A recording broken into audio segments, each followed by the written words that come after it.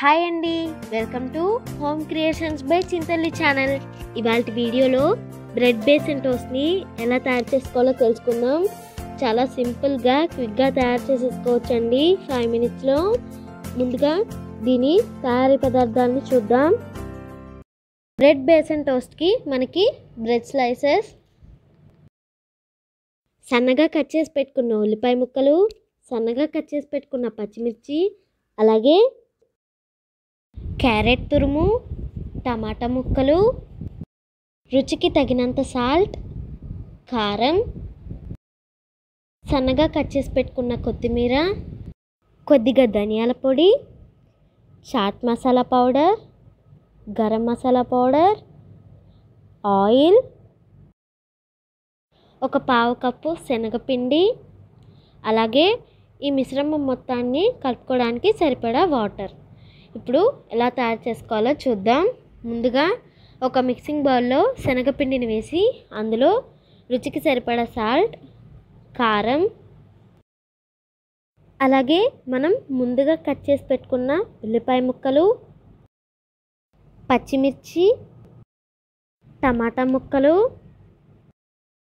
Carrot తురుము ధనియాల పొడి చాట్ మసాలా పౌడర్ గరం మసాలా పొడి. అలాగే సన్నగా కట్ చేసి పెట్టుకున్న కొత్తిమీరను కూడా వేసుకుని మొత్తం కలిసేట్టు బాగా కలుపుకోవాలి. ఇలా కలుపుకున్న తర్వాత దీంట్లోకి వాటర్ని కొంచెం కొంచెం వేసుకుంటూ ఒక చిక్కటి బ్యాటర్ లాగా తయారు చేసుకోవాలి.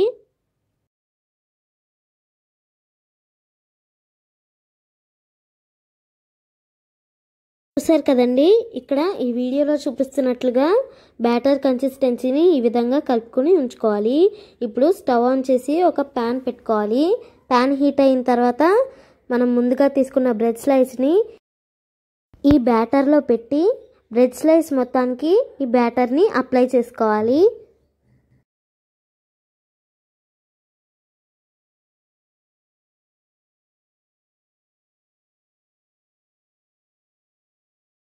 ఇలా తయారు చేసుకున్న బ్రెడ్ స్లైస్ని ప్యాన్ హీట్ అయిన తర్వాత ప్యాన్ మీద వేసుకుని కొంచెం ఆయిల్ని వేయాలి.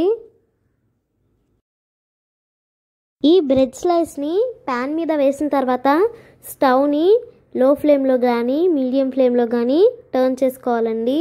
హై ఫ్లేమ్లో పెడితే బ్రెడ్ మాడిపోయే ఛాన్సెస్ ఉంటాయి. ఇలా ఒక టూ టు త్రీ మినిట్స్ దీన్ని కాల్చుకున్న తర్వాత రెండో వైపుకి ఫ్లిప్ చేసుకోవాలి.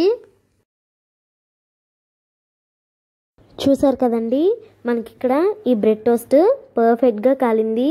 ఇది రెండో వైపు కూడా కాలేలోపు మనం ఇంకో బ్రెడ్ స్లైస్ని కూడా ప్రిపేర్ చేసుకుందాం.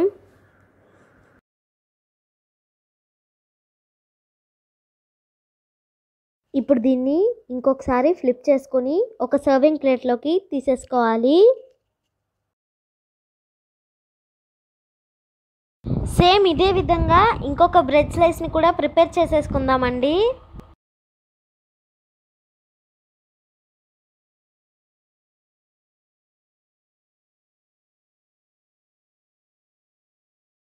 అంతేనండి మన బ్రెడ్ బేసిన్ టోస్ట్ రెడీ అయిపోయింది.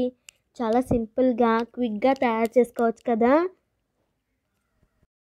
మీరు కూడా దీన్ని తప్పకుండా మీ ఇంట్లో ట్రై చేయండి. టేస్ట్ ఎలా వచ్చిందో నాకు కామెంట్ పెట్టండి. అలాగే మనం ఈ బ్రెడ్ టోస్ట్ని విడిగా కూడా తినచ్చు టమాటా సాస్తో కూడా సర్వ్ చేసుకుని తినచ్చు. చాలా బాగుంటుంది. మీకు గనక ఈ వీడియో నచ్చినట్లయితే please like share and subscribe to home creations by Chintalli channel. Thanks for watching this video.